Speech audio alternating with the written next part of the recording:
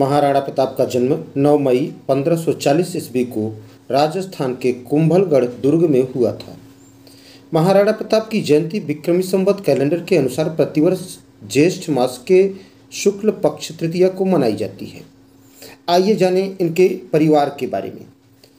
इनके पिता महाराणा उदय सिंह और माता जयवंत कंवर थी।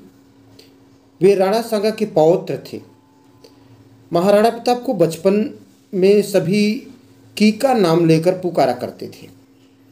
राजपूताना राज्यों में मेवाड़ का अपना एक विशिष्ट स्थान है, जिसमें इतिहास के गौरव बाप्पा रावल खुमाड़ प्रथम, महाराणा हमीर, महाराणा कुंभा, महाराणा सांगा, उदय सिंह और वीर शिरोमणि महाराणा प्रताप ने जन्म लिया। आइए देखें महाराणा प्रताप की प्रतिज्ञा। महाराणा प्रताप ने भगवान एक लिंग जी की कसम खाकर प्रतिज्ञा ली थी कि ज़िंदगी भर उनके मुख से अकबर के लिए सिर्फ़ तुर्क ही निकलेगा।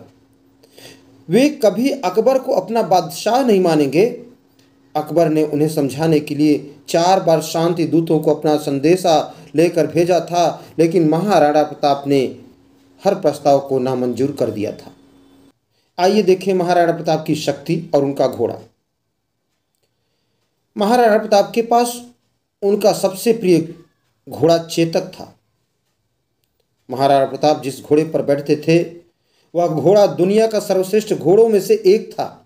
ऐसा कहा जाता है कि महाराणा प्रताप तब बहत्तर किलो का कवच पहनकर 21 किलो का भाला अपने हाथ में रखते थे। भाला, कवच और ढाल तलवार का वज़न कुल मिलाकर 208 किलो था। राणा 208 किलो वज़न के साथ युद्ध के मैदान में उतरते थे। सोचिए तब उनकी शक्ति क्या रही होगी।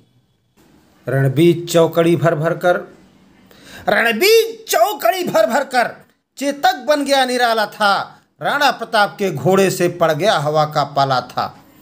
गिरता न कभी चेतक तन पर गिरता न कभी चेतक तन पर राणा प्रताप का कोड़ा था या आसमान का घोड़ा था।